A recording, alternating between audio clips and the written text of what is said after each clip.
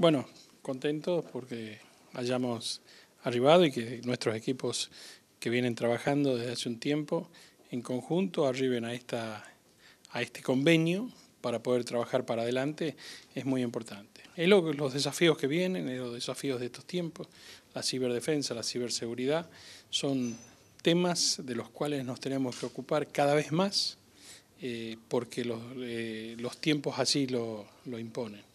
Nosotros tenemos que prepararnos para este tipo de ataques no convencionales desde el punto de vista de la defensa, pero también desde el punto de vista de la administración de un gobierno. Eh, y tenemos que equiparnos, capacitarnos y prepararnos eh, para estos desafíos. Así que esto, esto que se pudo arribar es auspicioso, es importante y vamos a seguir trabajando en equipo, que es lo que el presidente nos pide, eh, para abordar estos problemas complejos, actuales y modernos.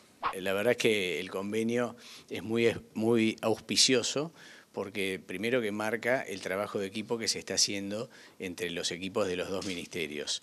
Y, la verdad que ya eso en sí mismo es auspicioso.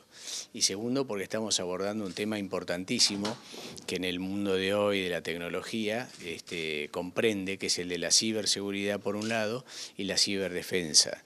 Eh, y necesariamente tenemos que abordarlo en conjunto porque es la única manera de poder tener un plan eh, que aborde esta problemática que es muy, pero muy, está en vigencia total en las agendas en el mundo, producto del gran desarrollo de la tecnología. Así que para nosotros recibir al, ministro y amigo eh, Julio Martínez es muy, pero muy importante y es ratificar el trabajo de equipo de todo el gabinete, en este caso nos toca a nosotros con este tema.